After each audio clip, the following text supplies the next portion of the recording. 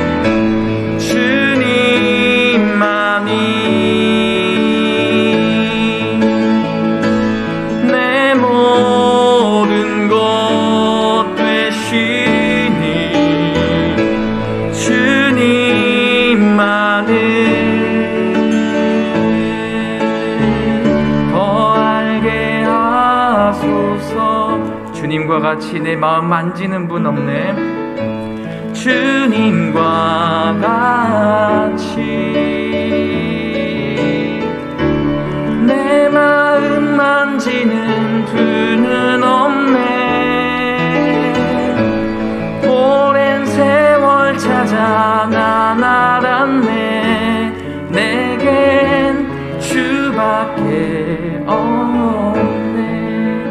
주잡이 주잡이 강같이 흐르고 주 손길 치료하네. 고통받는 자녀 품으시니 주밖에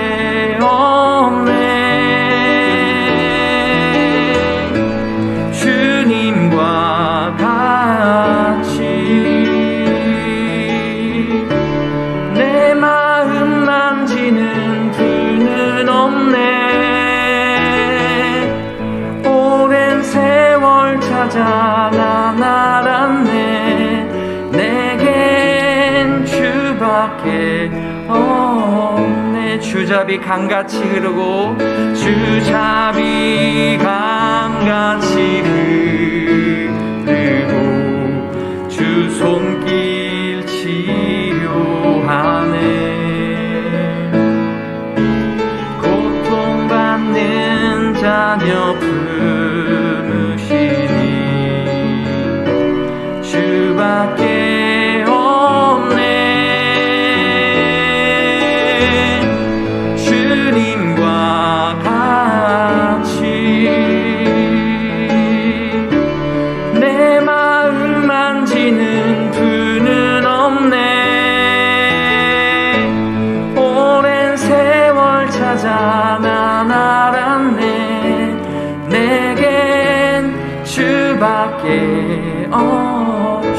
주님만이 내 모든 것 되시니 주님만이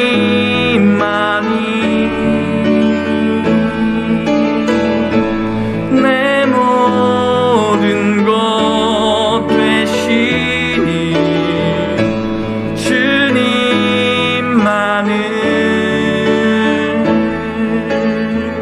더 알게 하소서. 마지막으로 주님만이 내 모든 것 되시니 주님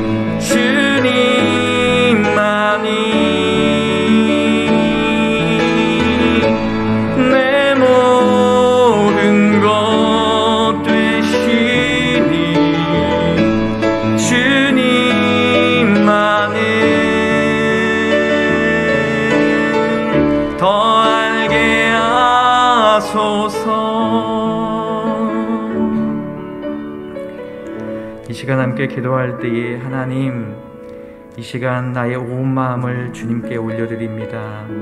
이 시간 우리의 심령 가운데 임재해 주사 주님만을 더 아는 시간 되게 하여 주옵소서. 다른 어떠한 것이 아니라 주님을 더 알기를 소망하는 이 시간 되게 하여 주시옵소서.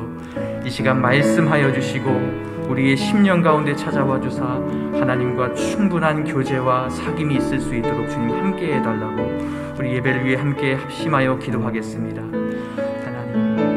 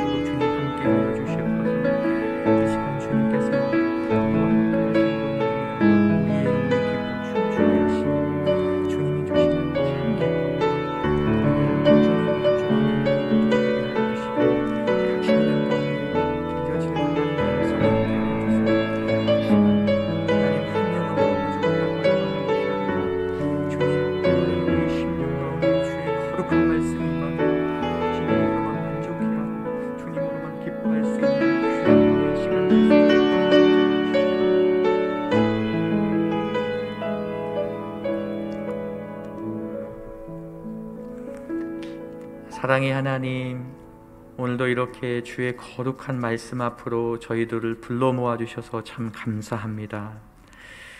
우리가 주님 앞에 나왔습니다. 주의 거룩한 말씀으로 우리 각 개개인의 심령 가운데에 들려지는 하나님의 음성이 있기를 소망합니다. 그 말씀으로 말미암아 다른 어떠한 것이 아니라 하나님을 더욱더 알아가기를 소망하고 그 하나님을 아는 지식이 올바른 믿음으로 이어져 우리의 삶 가운데에 차고 넘치는 기쁨이 있을 수 있도록 함께하여 주옵소서 감사드리며 예수님 이름으로 기도합니다. 아멘. 하나님 말씀 보겠습니다. 오늘 우리에게 주시는 하나님의 말씀은 창세기 22장 1절로 4절까지의 말씀입니다. 창세기 22장 1절로 4절까지의 말씀 한 절씩 교독하도록 하겠습니다. 그 일 후에 하나님이 아브라함을 시험하시려고 그를 부르시되 아브라함아 하시니 그가 이르되 내가 여기 있나이다. 여호와께서 이르시되 내 아들 내 사랑하는 독자 이삭을 데리고 우리아 땅으로 가서 내가 내게 일러준 산 거기서 그를 번제로 드리라. 아브라함이 아침에 일찍이 일어나 나귀의 안장을 지우고 두 종과 그의 아들 이삭을 데리고 번제에 쓸 나무를 쪼개어 가지고 떠나 하나님이 자기에게 일러 주신 곳으로 가더니 제3일에 아브라함이 눈을 들어 그곳을 멀리 바라본지라. 아멘. 이 말씀은 하나님의 말씀입니다. 아브라함은 하나님께 처음 부름을 받아 고향과 친척과 아버지의 집을 떠나 22장 오늘 본문에 이르기까지 수많은 일들을 겪었습니다. 가나안 땅에 도착해서 기근을 만났고 그 기근을 만났을 때에 그 가나안 땅을 떠나 애굽으로 내려갔습니다. 그 애굽으로 내려가서 자기가 애굽 사람들 때문에 죽을 줄도 모른다라고 하는 두려움에 빠져서 자기의 아내를 누이라 속이는 일이 벌어지죠. 그 일 때문에 하나님께서는 바로와 그 집에 재앙을 내리셨습니다. 그 사건 이후에 소유가 많아서 그 조카 롯과 헤어져야 할 수밖에 없는 상황이 벌어졌고 그 이후에 이 조카 롯이 또 전쟁에 휩싸여서 그 롯을 구하기 위해서 318명을 데리고 또 그 롯을 구하기도 하였습니다. 그리고 그때에 하나님의 큰 선지자였던 멜기세덱에게 축복도 받은 일도 있었죠. 아브라함은 자손에 대한 약속을 받았지만 그 약속이 성취될 기미가 보이지 않자 당시의 관습대로 사라의 여종이었던 하갈에게서 이스마엘을 낳기도 하였습니다. 그 이스마엘 때문에 집안이 시끄러웠지만 하나님께서는 아, 그분의 약속을 다시 되풀이하시면서 아브라함의 이름을 아브라함으로 바꾸시고 또 할례 언약과 이삭을 약속해 주셨습니다. 아브라함이 소돔을 위하여서 또 중부한 일도 있었습니다. 의인 50명, 또 45명, 40명, 30명, 20명, 10명 이런 중보를 통해서 이 중보 때문에 하나님께서는 그 멸망 중에 롯을 또 구해 주셨고 그 사건 이후에는 그랄 땅에 거주하였는데 또 거기에서도 애굽에서와 마찬가지로 자기 아내를 누이라 속여서 그 아비멜렉 왕을 곤란에 또 빠뜨리게 되죠. 어쨌든 그 모든 일들이 다 지난 후에 드디어 하나님의 말씀대로 이삭이 태어나게 되었습니다. 이삭이 태어나면 모든 일들이 다 잘 될 것 같았는데 이삭이 젖을 뗄 때쯤 이 하괄과 이스마엘이 한 사건을 통해 또 내쫓기게 됩니다. 이런 아픔 중에 있었던 아브라함이었지만 이삭에게서 나라는 자라야 내 씨라 부를 것이다 라는 그 하나님의 말씀을 붙잡고 그 위기를 극복해 나갔습니다. 여러분 처음 아브라함이 부름을 받았던 그때와 비교해 봤을 때 22장에서 만나게 되는 아브라함은 걱정이 없어 보입니다. 위기와 어려움과 고통과 고난은 다 지나가 버렸습니다. 하나님의 언약은 그동안 반복적으로 되풀이되면서 이제는 헷갈리지 않고 또 그의 자손이었던 이삭이 태어남으로 확실해졌기 때문입니다. 백세에 얻은 이 이삭도 노년에 얻었지만 아주 건강하게 잘 자라서 아무 문제가 없었습니다. 삶은 안정되었고 아브라함의 주변은 너무나 평화로웠습니다. 처음 하나님의 관계가 시작되어서 지금에 이르기까지 믿음이 점점 자라난 아브라함은 이제 믿음의 조상이다, 또 하나님의 벗이다 라는 칭함을 받기에도 전혀 부족하지 않은 모습으로 나타나게 됩니다. 그도 그럴 것이 아브라함은 지금까지 열심히 나름대로 살아왔고 또 하나님이 주어주신 그 상황과 환경 안에서 최선을 다해서 그의 삶을 살아왔습니다. 여러분 이쯤 되면 하나님은 아브라함에게 좀 안식도 주시고 또 휴가도 주시고 하시면 좋을 것 같은데 아브라함은 좀 쉬어도 될 것 같은데 오늘 본문 1절에 보니까 그 일 이후에 하나님이 아브라함을 시험하시려고 아브라함에게 뭔가 새로운 일, 그동안 경험해 보지 못했던 새로운 일이 일어날 것을 암시하고 있습니다. 그것은 구체적으로 시험이라고 하는 단어로 표현되고 있는데요. 이 시험이 아브라함에게 다시 한번 찾아오게 되는데 이 시험이 찾아왔다라고 하는 것은 그 아브라함의 삶에 하나님이 깊이 관여하고 계시다라고 하는 또 다른 반증인 것이죠. 하나님이 함께하고 있음이 여기에서 나타나는 것입니다. 여러분, 하나님은 끊임없이 우리에게 말씀하시며 교제하고 일하기를 기뻐하시는 분이십니다. 사단은 이제 됐어. 에, 쉬어. 에. 아니, 명절 끝날에 무슨 수요 예배야? 어? 됐어. 집에서 쉬어. 이럴지 모르지만 여러분, 여러분들이 왜 이 자리에 앉아 계십니까? 하나님이 그 불편한 마음을 주지 않으셨습니까? 마찬가지로 하나님은 아브라함에게 또 한 번의 시험을 통해서 끊임없이 아브라함과 사귐과 교제를 통해 더 친밀한 관계를 이어 나갈 것을 말씀하고 계시는 겁니다. 아브라함에게 처음 나타나셨던 것처럼 지금 오늘 본문에서도 하나님은 나타나셔서 말씀하십니다. 왜 하나님은 이렇게 자꾸 나타나서 말씀하시는 걸까요? 왜 그의 택하신 자녀들에게 찾아가셔서 이렇게 매번 어려운 상황들을 만드시는 걸까요? 여러분, 그 이유는 그 하나님의 사랑이 적지 않고 무한히 크기 때문입니다. 매일매일 평생 경험해도 다 누릴 수 없을 만큼 그 하나님의 사랑이 그만큼 크다는 것이죠. 또한 그분의 사랑은 무한히 클 뿐만 아니라 우리를 지겨워하지도 않으십니다. 한결 같으신 것이죠. 여러분, 우리의 죄된 본성은 어떻습니까? 새롭고 신기한 것들을 좋아하고 나와 잘 맞는 사람들만 좋아합니다. 하지만 하나님은 우리를 꾸준히 사랑하시며 우리가 순종할 때에도 혹 우리가 실수하여 넘어질 때에도 하나님은 우리를 여전히 사랑하십니다. 또한 그분의 사랑은 우리와 항상 함께 하십니다.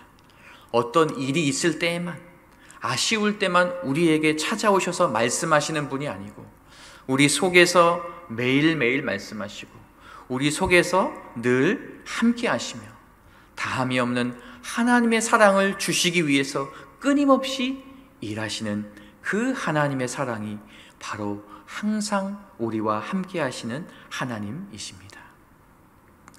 여러분, 그렇다면 오늘 하나님께서 아브라함에게 시험하시려고 말씀하고 찾아오셨는데 그 새로운 일이라는 게 무엇일까? 하나님이 아브라함에게 나타내 보이고자 하는 그 사랑이 무엇일까요? 2절에 보니까요. 여호와께서 이르시되 내 아들 내 사랑하는 독자 이삭을 데리고 모리아 땅으로 가서 내가 내게 일러준 한 산 거기서 그를 번제로 드리라.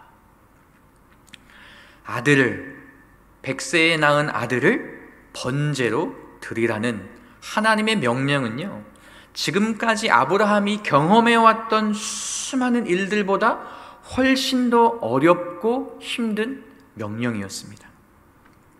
그런데 아브라함은요, 정말 신기하게 기근을 만났을 때보다 또 이삭을 보호하기 위해 이스마엘과 하가를 떠나보낼 때마다 더 쉽게 명령에 순종하는 모습을 오늘 본문을 통해 보게 되는 것입니다. 3절에 보니까요. 아브라함이 아침에 일찍이 일어나 고민이나 망설임 없이 주저함 없이 아브라함은 즉각적으로 순종할 수 있는 이유가 무엇이었겠습니까? 이 대부분의 학자들은 아, 이때 이삭의 나이가 이제 10대, 이 청소년, 청소년 시기였을 것이다 이렇게 추측을 합니다. 이 아브라함은 노년에 낳은 이 아들 이삭이 사춘기가 찾아오고 말을 안 들어서 망설임 없이 번제로 드리기 위해 아침 일찍 일어난 것이 아닙니다. 이삭은 오늘날 아, 우리가 만나게 되는 10대들과는 조금 다른 모습입니다. 뭐 반항하거나 뭐 통제가 안 되거나 소통이 뭐 불가능하거나 자아가 충만해서 악한 데는 아주 지혜롭고 선한 데는 미련한 그런 사람이 아니었습니다. 이삭은 아버지와 사랑의 관계를 맺고 있었습니다. 하나님은 아브라함에게 내 아들, 내 사랑하는 독자 이삭이라고 말씀하셨습니다. 그냥 내 아들, 내 이삭이라고 해도 되는데 내 사랑하는 단순히 아브라함만 이삭을 사랑하는 것이 아니고 이삭도 아브라함을 사랑하는 이 두 사람의 관계가 사랑의 관계였다라고 하는 것을 여기에서 우리가 엿볼 수 있는 것이죠. 또한 이삭은 아버지와의 사랑의 관계뿐만 아니라 하나님과의 관계에서도 사랑의 관계를 맺고 있었음을 우리는 여기에서 볼 수 있는데요.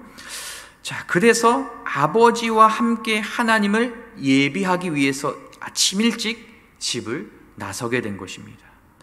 함께 떠난 종들과 헤어져 아버지와 둘만 동행하게 됐을 때 이삭은 빈손으로 가지 아니하고 번제 나무를 스스로 지고 갔습니다. 뭐 요즘으로 따지자면 뭐 예배 시간에 뭐 절대 늦지 않는 청소년인 것이죠. 예배 시간에 졸지 않는 것뿐만 아니라 뭐 성경책을 가지고 다녀라, 헌금은 꼬박꼬박 정직하게 해야 된다라고 하는 이런 잔소리들을 들을 만한 필요가 없는 아주 모범적인 하나님과의 관계를 맺고 있는 청소년이었습니다. 뿐만 아니라 이삭은요, 하나님을 어떻게 예배하는 것이 참 예배인지 구체적으로 잘 알고 있었습니다. 평소 아버지가 번제를 드릴 때 그냥 옆에서 쭈삐쭈삐 서가지고 시간만 보내고 아유 이 번제가 언제 끝나나 이런 아무 생각 없이 그 곁에 서 있었던 것이 아닙니다. 하나님이 기뻐하시는 예배가 참된 예배가 무엇인지 정확하게 알고 있었습니다. 그래서 그는 아버지 아브라함에게 이렇게 물었습니다.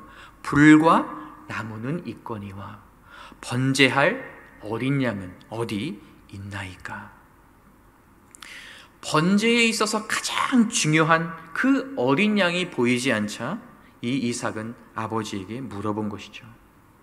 그리고 아버지가 자신을 결박할 때 재단에 눕혀 칼을 자신 위에 높이 들었을 때 그때에도 이삭은 묵묵히 아버지 아브라함이 가진 동일한 믿음으로 하나님을 바라보고 그 하나님을 기대했습니다.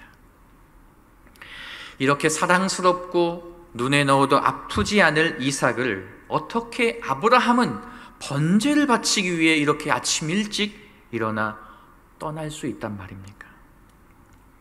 바로 하나님을 믿는 믿음 때문이었습니다. 성경에서 말하는 믿음은 실체가 없는 그래서 단순히 믿습니다 라고 말하며 긍정적으로 생각하는 것을 말하지 않습니다.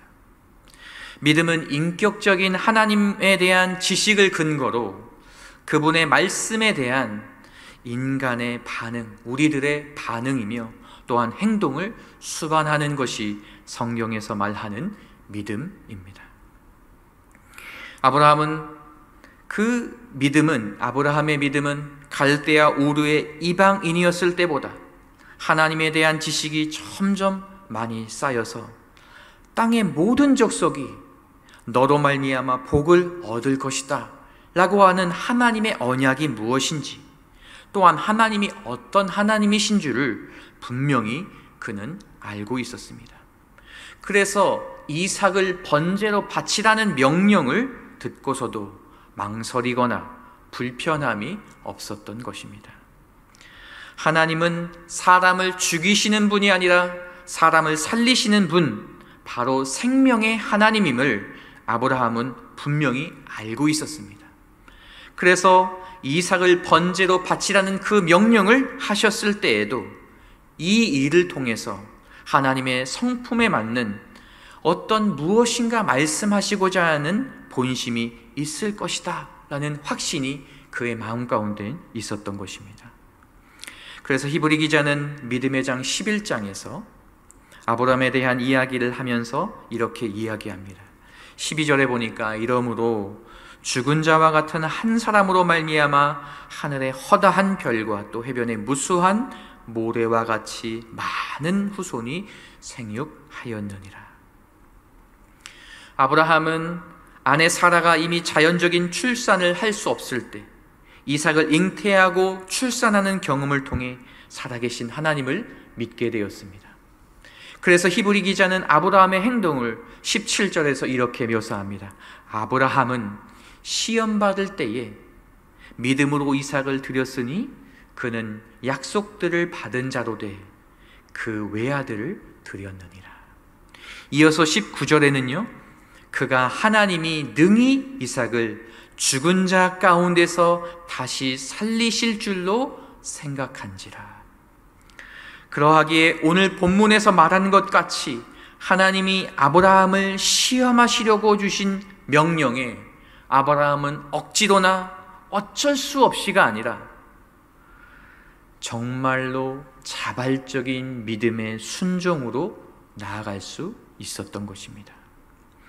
약속이 있었기 때문에 생명의 하나님, 없는 것도 있는 것 같이 부르시는 하나님을 믿는 믿음으로 아브라함은 이 시험, 테스트, 훈련인 것을 알았습니다.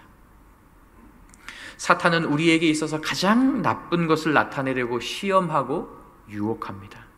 하지만 하나님은 우리에게 가장 좋은 것을 주시려고 시험, 곧 테스트를 하시고 훈련하시는 분이십니다. 다시 말하면 연약한 우리의 관점에서는 시험이지만 전능하신 하나님의 관점에서는 약속의 말씀이 성취되어 가는 하나의 과정일 뿐입니다. 아브라함은 이 시험을 통해서 궁극적으로, 얻은 것이 무엇이겠습니까? 바로 여호와 이레. 여호와께서 준비하심을 그는 맛보았습니다. 여러분, 우리가 알고 있는 것을 아브라함이 몰랐을 것이라 생각하면 안 됩니다. 성경에 기록된 사실을 우리가 알고 있었다면 당사자였던 아브라함도 당연히 알고 있었습니다. 아브라함은 하나님께서 번제할 어린 양을 하나님이 자기를 위하여 친히 준비하셨다는 것을 알고 있었습니다. 그래서 그는 그의 독자 이삭에게 번제할 어린 양이 어디 있나이까? 라는 질문에 대답할 수 있었습니다. 그 지식은 번제를 드리기 직전 한 순양이 그 뿌리 수풀에 걸려 있는 것을 실제로 보게 되었고, 그리고 그 지식은 행동을 통해 여호와 이레라는 믿음의 고백을 이룰 수 있었던 것입니다. 아브라함은 우리가 아는 것처럼 23장에서 사라가 죽고 24장에서 이삭과 리브가가 결혼하는 장면 그리고 25장에서 죽음을 맞이하고 끝나게 됩니다. 오늘 본문이 어떻게 보면 아브라함의 믿음 중에서 가장 절정에 이르는 마지막으로 아브라함뿐만 아니라 오늘날 우리에게 무엇인가를 말씀하고자 하는 그 뜻이 숨겨져 있는 것 같습니다. 여러분, 하나님께서는 이 사건을 통해서 궁극적으로 아브라함을 시험하셨는데 그의 행동을 시험한 것이 아니라 그의 마음을 시험한 것을 우리는 발견하게 됩니다. 여러분, 하나님이 이삭을 요구하셨다? 아, 그런 것이 아닙니다. 번제를 드리려고 떠나고 바치는 그 행동을 보시기 위해서 이삭을 바쳐라! 라고 이야기한 것이 아닙니다. 하나님은 지금 아브라함의 믿음을 다루시는데 마음을 요구하고 계십니다. 하나님은 아브라함의 마음을 요구하시는데 아브라함 마음의 일부를 요구하시는 것이 아니라 아브라함의 전심, 아브라함의 마음의 100%를 요구하고 계십니다. 여러분, 우리는 보통 믿음이 좋다라고 이야기할 때는 어떤 사람을 보고 믿음이 좋다라고 이야기할까요? 보통 우리는 그에게 드러나는 외적인 모습을 보고 판단합니다. 모든 공예배에 빠지지 않고 교회 이곳 저곳에서 굳은 일을 마다하지 않고 섬김의 자리 자리마다 있는 사람, 열심히 있는 사람, 최선을 다하는 사람, 우리는 그런 사람들을 보고 아, 믿음이 좋다라고 이야기합니다. 그런데 여러분, 열심과 최선만을 가지고 아, 믿음이 있다 없다를 기준 삼기에는 조금 어려운 부분이 있습니다. 왜냐하면 다른 마음을 가지고도 열심과 최선으로 신앙생활을 할 수 있기 때문입니다. 어떤 사람들은 나를 드러내려고 또는 남에게 인정받고 싶어서 열심을 내거나 또 최선을 다하는 사람일 수도 있습니다. 또 어떤 사람들은 구원에 대한 확신이 없어서 그냥 선행으로 구원의 확신을 대신하기 위해서 교회 이곳 저곳에서 예배도 빠지지 않고 섬김도 빠지지 않는 열심을 내는 사람도 있습니다. 그런데 하나님은 다르십니다. 우리는 사람의 외적인 모습을 보고 판단하고 그 사람이 참 믿음이 좋다 생각할 수 있지만 하나님은 그러한 것에 속으시는 분이 아니시죠. 하나님은 우리의 행동뿐만 아니라 우리의 중심을 살펴보셔서 우리의 가장 깊은 마음속 그 깊은 내면의 1%, 그 마지막 1%도 우리에게 요구하시며 전심을 나에게 보이라고 요구하고 계십니다. 여러분, 믿음은 마음이 중요한데요. 이 믿음의 꽃이라고 하는 것이 바로 이 마음의 전부, 이 100%를 다 주님께 드리는 것입니다. 왜 하나님은 우리에게 전부, 이 마음의 100%를 요구하실까요? 그저 열심히 하고 최선을 다하는 것으로 왜 만족하지 않으시고 우리의 모든 것을 다 그렇게 하나도 남김없이 다 가져가셔야만 만족하시는 분이실까요? 왜 그러실까요? 그것은 하나님의 사랑이 전심으로 우리에게 다가왔기 때문입니다. 하나님의 사랑이 100%의 그 아버지의 마음이 우리에게 찾아왔기 때문에 하나님은 당연히 우리에게 전심을 요구하시는 것입니다. 여러분, 하나님의 전심은 우리가 전심일 때 만날 수 있는 것입니다. 하나님은 전심이신데 우리의 마음이 99%다, 98%다, 절대로 하나님 아버지의 마음을 누릴 수가 없는 것이죠. 여러분, 하나님 편에서의 사랑은 전심이었습니다. 이 놀라운 하나님의 전심, 이 전심을 아브라함이 알았기 때문에 이삭을 온전히 내어드릴 수 있었던 것입니다. 여러분, 하나님을 전심으로 사랑할 때 이웃을 전심으로 사랑할 수 있는 것입니다. 아브라함이 이삭을 사랑했는데 인간적인 사랑이 아니라 하나님 아버지로부터 부어진 100%의 마음으로 사랑할 수 있었던 그 이유. 바로 그가 하나님의 사랑을 경험했기 때문이죠. 여러분, 인간적으로 100세에 낳은 아들을 어렵게, 어렵게 낳은 그 아들을 어떻게 번제로 바칠 수 있을, 있었단 말입니까? 그래서 아브라함은 100%의 전심인 하나님의 마음을 알았기 때문에 그 이삭을 번제로 바칠 수 있었고 그 결론이 12절에 보니까 오늘 읽지는 않았지만 그 아이에게 내 손을 대지 말라 그에게 아무 일도 하지 말라 내가 내 아들 독자까지도 내게 아끼지 아니하였으니 내가 이제야 내가 하나님을 경외하는 줄을 아노라. 여러분 설마 하나님이 아브라함의 이 마음을 몰랐다가 번제로 바치는 이 행동을 통해서 아이고 그래. 아, 네가 날 이렇게 사랑했구나. 아유 그야 고맙다. 뭐 이런 게 아니었겠죠. 하나님은요 아브라함이 이삭을 바치는 이 믿음의 행동을 통해 하나님의 아버지의 마음과 그 아브라함의 마음과 하나님 아버지의 마음이 통하였다라고 하는 것이죠. 마음이 하나가 되었다라고 하는 것입니다 먼 훗날 하나님의 때에 아브라함의 자손으로 오신 독생자 예수 그리스도를 또 우리가 죽어야 할 그 심판의 자리에 또 성육신하신 그리스도를 세우심으로 우리를 살리시는 그 구원의 하나님을 아브라함은 그 현장에서 맛볼 수 있었다라고 하는 것이죠. 여러분 그런 의미에서 하나님이 전심으로 우리에게 다가오셨을 때 나타났던 것이 무엇입니까? 바로 십자가에 달리신 예수 그리스도이셨습니다. 여러분 그런 점에서 오늘 이 본문의 이삭과 십자가에 달리신 그리스도는 많은 공통점이 있습니다. 여러분 이삭도 그랬고요. 이 예수님도 그렇고요. 정말 출생 자체가 다 기적적이었습니다. 이삭은 태어날 수 없는 상황에서 태어났고요. 우리 그리스도께서는 어, 성령으로 잉태되셨습니다. 또 이 모든 출생 이전에 이미 태어날 것을 이야기하시는 예고가 있었죠.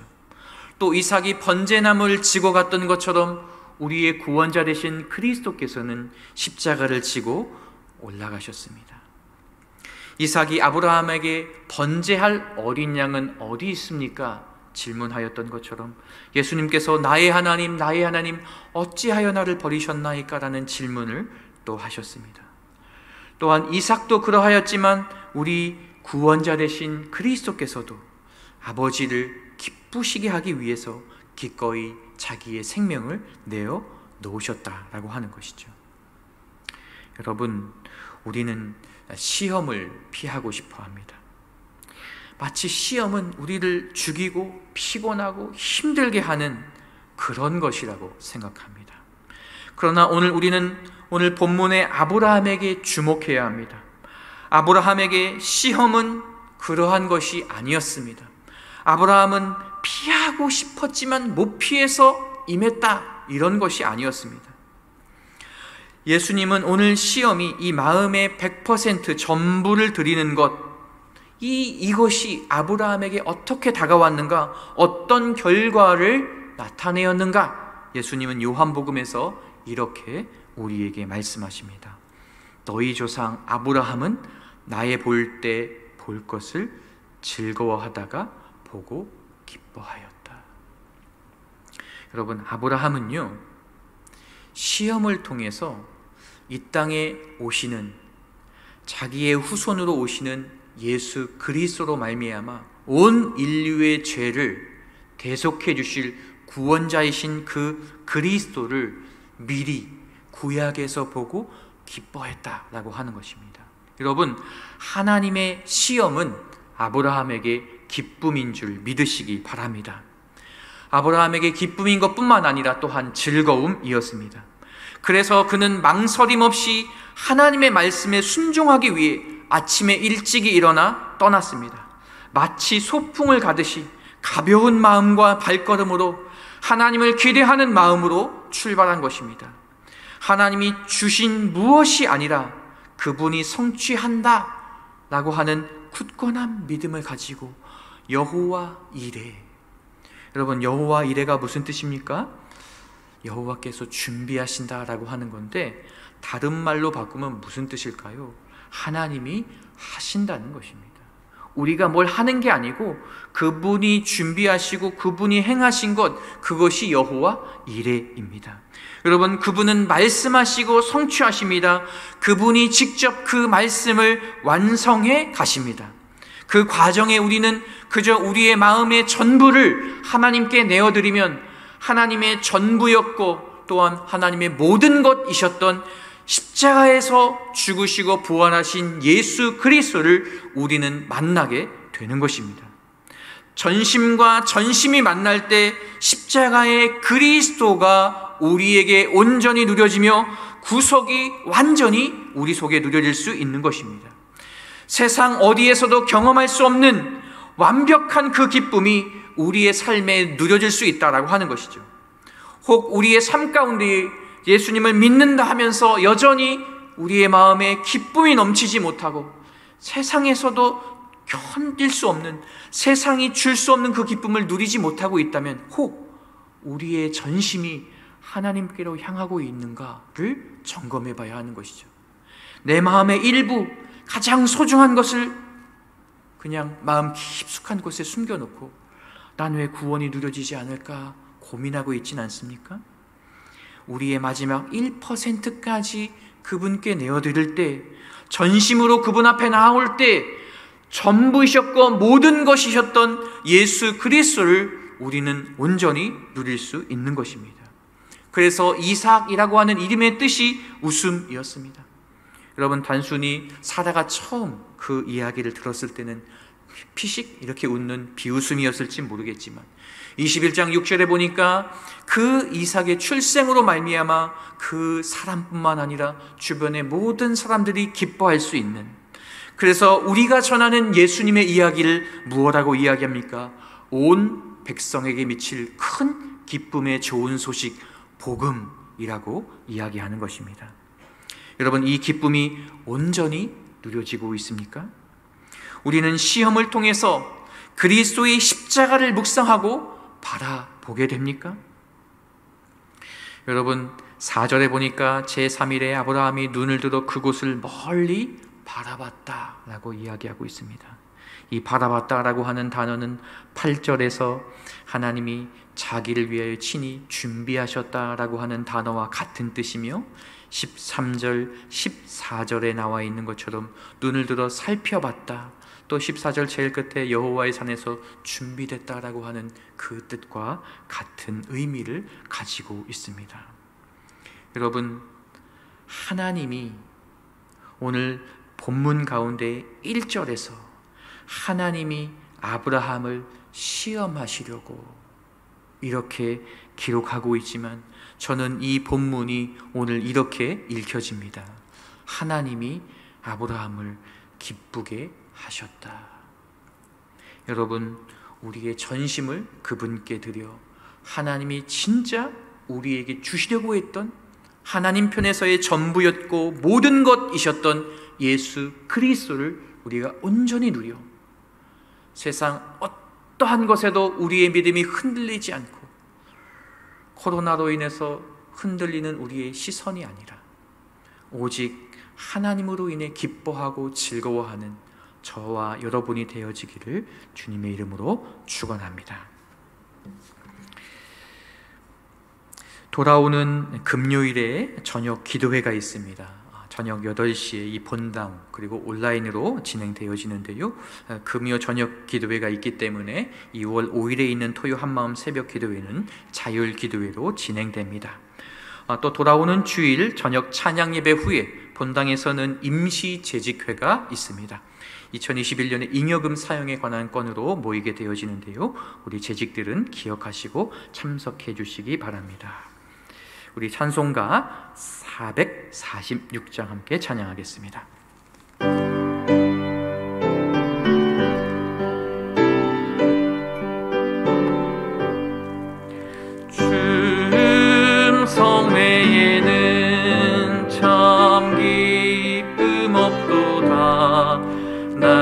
기쁘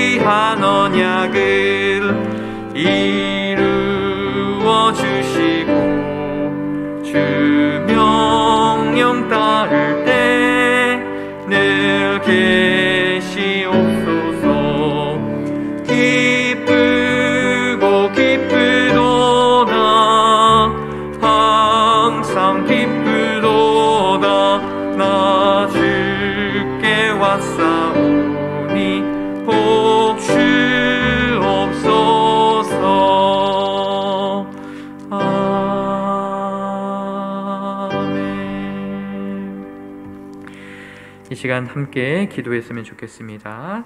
오늘 들은 본문 말씀을 듣고 각자 기도하시길 바라고요. 기도 제목 한번 띄워주시기 바랍니다. 이번 코로나 상황이 확진자가 2, 만 명이 넘는 에, 확산세가 이제 계속 이어지고 있는데요. 이 코로나 상황이 좀 진정되고 우리 모두가 다시 함께 일어설 수 있도록 기도해 주시기 바랍니다. 이 저급한 정치 문화가 새로워지고 나라와 국민을 위해 일하는 대통령이 세워질 수 있도록 또 남한과 북한이 평화롭게 공존하며 교류하는 은혜를 허락해 주시도록 우리 또 예배가 살아나고 이웃과 교회를 돌아보고 섬기며 하나님을 닮아가도록 또 각 가정이 신앙과 교육의 주체로 하나님을 닮아갈 수 있도록 또 한국 교회가 복음과 성경에 충실하고 빛과 소금의 사명을 잘 감당하도록 또 마지막으로 138유닛 선교사님들의 건강과 사역을 지켜주시고 현지 교회들이 건강하게 자라날 수 있도록 우리 다 같이 아, 주어진 기도 제목 가지고 함께 기도하고 또 개인적인 기도의 제목들 가지고 각자 기도하시다가 자유롭게 돌아가시기 바랍니다. 함께 기도하겠습니다.